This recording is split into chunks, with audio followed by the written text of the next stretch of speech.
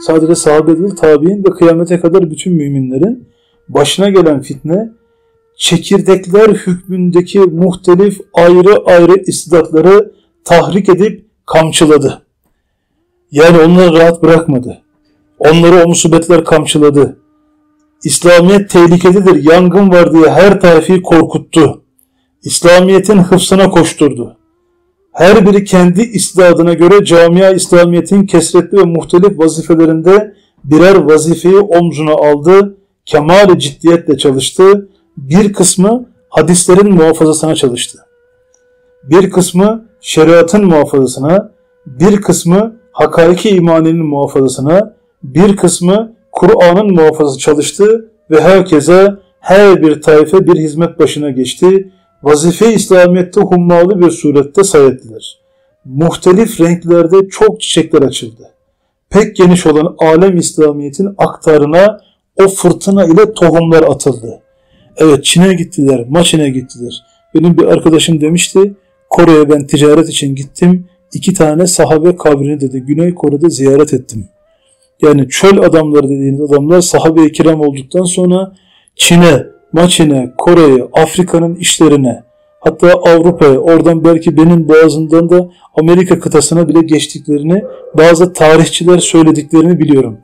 Ama o konu benim dalım olmadığı için sadece bu kadarla yetiniyorum. Yani dünyanın her tarafına o musibetler, o fitneler sahabe-i kiramı tohumlar gibi saçtı. O fırtınalar nasıl tohumları bir yerden bir yere taşıyor? O rüzgarlar nasıl tohumları bir yerden bir yere götürüyor?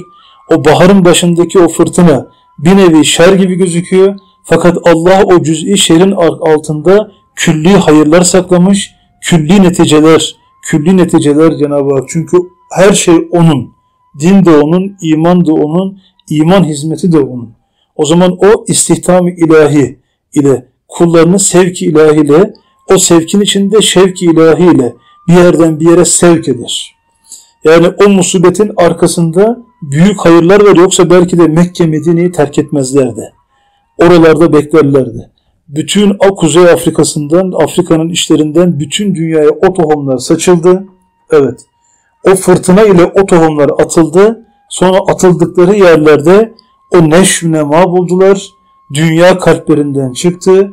Ahirete ve Allah'a müteveccih oldular. Bulundukları yerde bir noktayı mihrakiye hükmüne geçtiler. Orada bulundukları yerlerde rahmete celbeden birer santral oldular. Hatta külliyatta bir yerde var, isteyen arayan bulabilir. Diyor ki layıkalarda, benim diyor bir talebem diyor, Kur'an talebesi yani.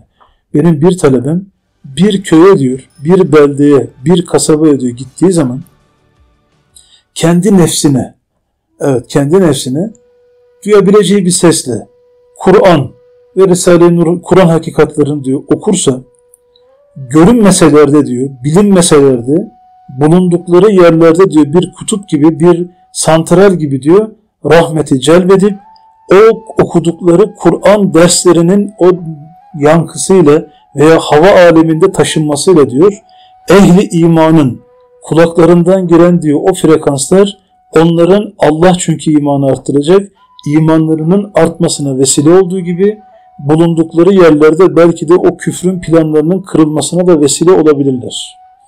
Evet bu da layıkalarda geçiyor. Yani o bulundukları yerlere dua etmeleri, onların bütün halklarına dua etmeleri, kendi vatanına, milletine, memleketine dua etmesi. Zaten her şey dua. Müminin en büyük silahı dua. Duadan başka hiçbir şey elinde yok. Ben icra makamı değilim, dua makamıyım. Dua da fiili ve kavli olarak ikiye ayrılıyor. Değil mi? Kavli ve fiili dua. Allah'a yakınlığın nispette aynalığın artıyor. Aynalığın arttığı nispette tezahürün artıyor. O arttığı nispette de şahitlik konumun daha da genişliyor. Şahitlik konumu genişledikçe bir santral hükmüne geçiyorsun. En çok en muhtaç sen olduğun için o hakikatler senin eline veriliyor. Senin eline verildiği için 18 sözün başında var. Ben bunlara mazharım deme. En muhtaç sen olduğun için sana verildi. Ama en muhtaç olduğunu idrak ettin. En geniş dairede de müşahede etmiş olursun. Evet. O tohumlar atıldı. Yarı yarı Gülistan'a çevirdi. Yani yarı yarı bütün alemi Gülistan'a çevirdi. Bütün alemin aktarını, o fırtına, o tohumları serpti. Fakat ma teessüf her zaman olduğu gibi Çünkü burası dünya olduğu için, imtihan dünyası olduğu için, kıyamet de burnumuzun dibinde olduğu için o güller ve gülistanların içinde de ehli bidanın fırkaları da dikenleri de çıktı. Yani asimile olmadan değil mi? Entegre olmak lazımdı ama entegre olurken asimile de olundu.